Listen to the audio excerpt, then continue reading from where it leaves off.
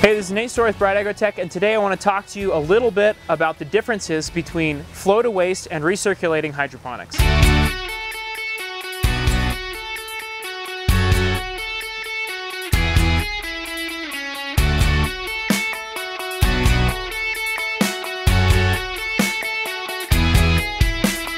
So there are two major forms of hydroponics out there, and uh, this is kind of leaving out some of the small um, niche ways of doing hydro. By and large, most people operate either flow to waste or recirculating hydroponic systems. So a recirculating hydroponic system is a system that typically recirculates its solution. And there's usually two types. Basically, um, in recirculating systems, you have water that's constantly circulating and you're injecting nutrients into that water as needed or mixing more nutrients in. Now most of these systems will end up discharging water every month, two, three months, sometimes more often, but it's not usually a lot of water. And the reason they do this is because the nutrients tend to get off balance or they have an accumulation of metal uh, like uh, aluminum, that kind of thing, copper, in their solution. So they need to get rid of that and the plants aren't going to be taking that up in large quantities, so they discharge it. It's not always a good thing, but it's uh, much less wasteful than say traditional agriculture. So that's a recirculating system. Now there's another type of system out there, it's called flow to waste.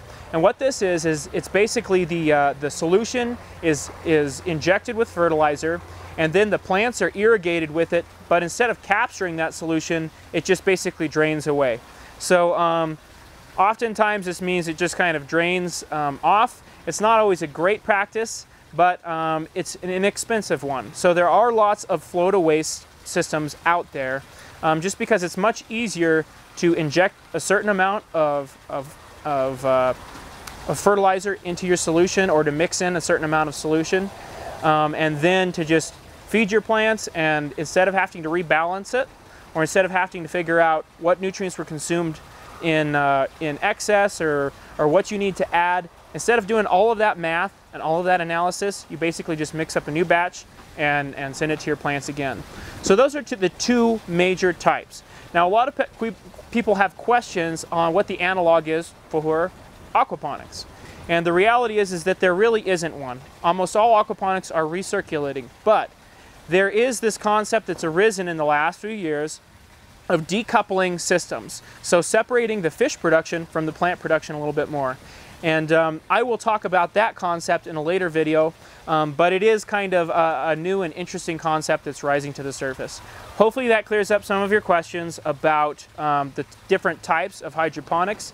Um, do a little research. There are other methods out there. The Kratky method, there's, there's uh, other ways to do this uh, that can be in some ways simpler, maybe not always as productive, but certainly a little bit easier for the layperson uh, to get into.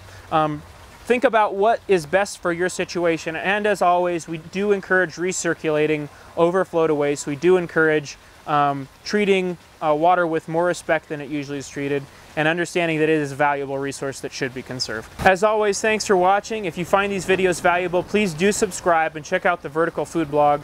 And to leave you on this note, our 350 tower system here loses less than 1% of the, of the uh, system volume daily all to evaporation. So we're super water conservative. We're usually only losing around 40 to 60 gallons a day.